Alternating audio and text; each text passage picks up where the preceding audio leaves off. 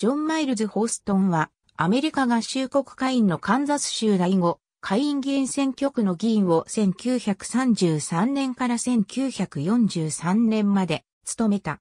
また労働関係委員会のメンバーを1943年から1953年まで務めた。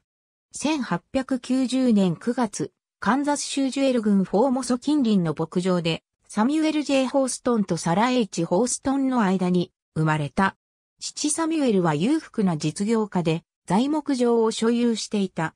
ジョンは、カンザス州一田の学校に1年生から5年生まで通った。その後カンザス州、サライナの聖ジョン軍事学校に2年間通い1905年に卒業した。カンザス州ウィチタのフェアマウントカレッジを卒業した。1906年にビジネスの管理に興味を持った。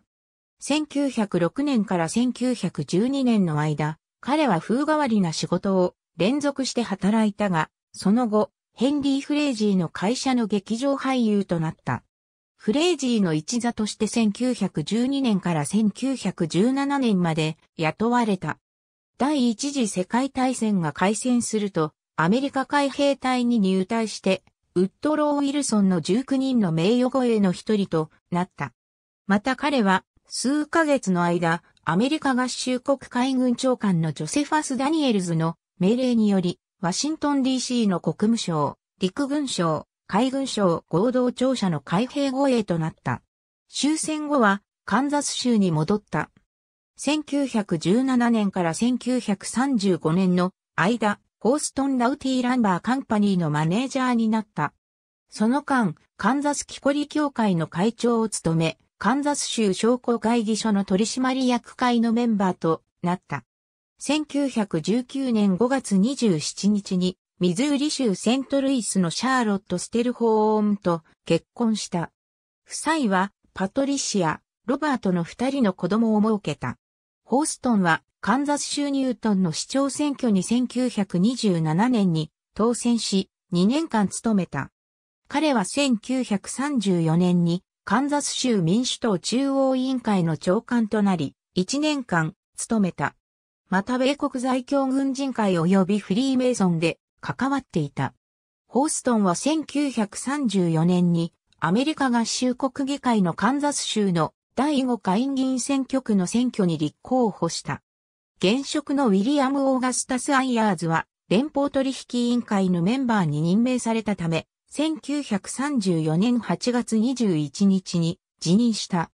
驚くほど簡単に共和党のアイラシー・ワトソンを57%と36.2%の差で打ち負かせた。2年後の選挙では60%の票を集め、共和党の立候補者 JB パターソンを破った。1938年には共和党のスタンリー・テイラーを510票と僅差ながら打ち負かすことができた。1940年の選挙でホーストンは5500票差で大勝した。下院議員の間、彼は下院歳出委員会のメンバーであった。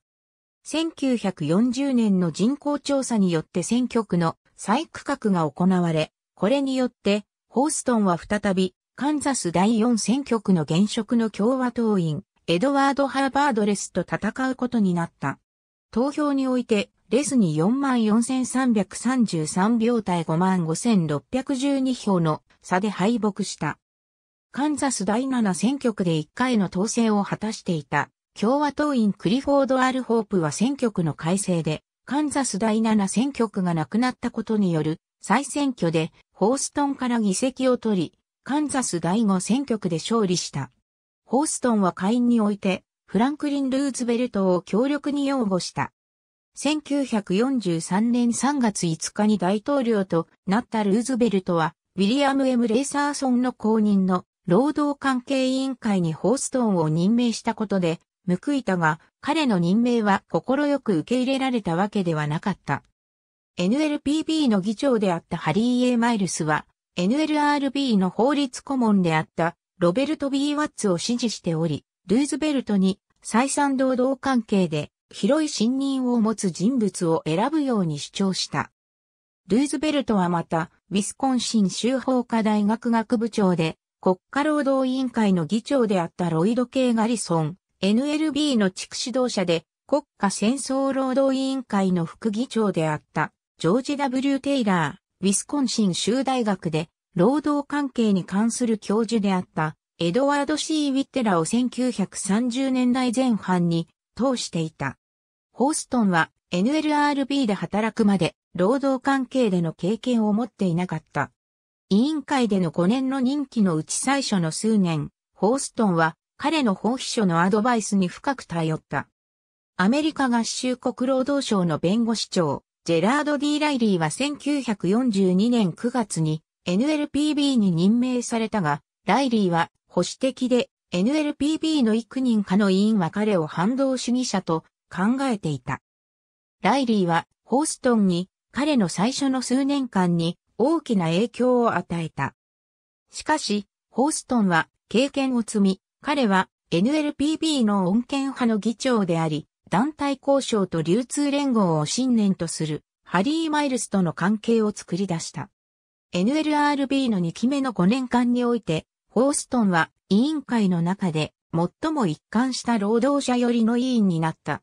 ライリーは、この変化は NLPB の後半検査官庁で左翼法律家であったフランク・ブルームがホーストンに深く影響したと信じるようになった。ホーストンの再指名はいくつかの分水嶺と考えられている。1947年、タフト、ハートレイ条例はメンバー3人から NLRB の大きさに拡大された。大統領ハリー・エストルーマンは条例可決後の議会との関係を考え、一つはリベラルとの関係から、一つは保守的なメンバーとの関係から委員に指名した。ホーストンは1948年4月12日に再任した。彼の再任は NLRB でのニューディール労働組合再結成の動きなどを見せ、国家労働法をより拡張し、労働連合に協力することを説明した。ホーストンは委員であった期間に、いくつかの重要な投票に巻き込まれた。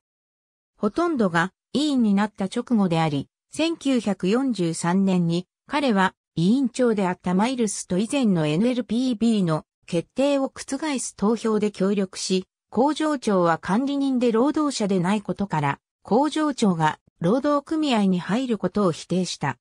しかし、その2年後、彼とマイルズは再び1943年の決定を覆すことに協力している。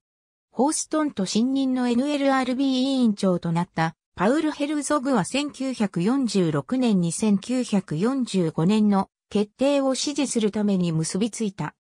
1945年には論争好きでリベラルな北東地区の管理者チャールズ・ティー・ドッツを辞任させるために再びマイルズと協力した。1947年にはタフト、ハートレー条例の主だった論争で紛糾した。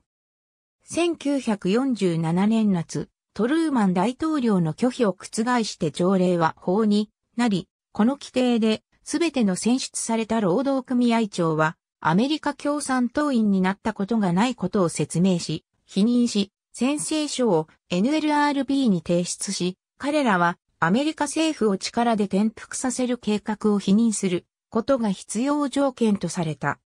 問題は以前 NLRB によって労働組合の役員委員会に席を持たないが、同盟、組織、団体などで委員会の取締役として働いている選挙によって選ばれたものを労働組合長として適用するかどうかであった。NLRB の法律顧問は、アメリカ労働者同盟と工業団体議会の管理者会のメンバーがこれらの宣誓にサインしなければならないと規定した。これは以前これらの管理者の個々が若い頃長くは、なくとも共産党員であったことに関係していた。以前、これらの管理者は、自らの労働組合に選挙されていなかったため、彼らはタフト、ハートレー条例の反響的先生の規定を逃れていたが、この法律顧問の規定は彼らの事業を危険にさらした。ホーストンは他の3人の NLRB 委員と共に1947年の9月から10月の一連の投票で法律顧問を無効にした。ホーストンは1953年8月27日に労働関係委員会の職務を退いた。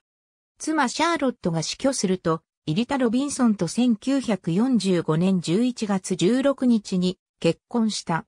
カリフォルニア州ロングビーチに移住し、1975年4月29日に心臓発作のため死去した。カリフォルニア州アナハイムのメルローズアビーセメタリーに埋葬された。ありがとうございます。